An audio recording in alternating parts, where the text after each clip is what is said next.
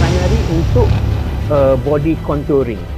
Okey, contohnya orang tu ada lemak lebih sikit kat sini, lebih sini, then you sedut sajalah nak contourkan la- lebih lawa. Ini dibuat oleh pakar plastik surgeon.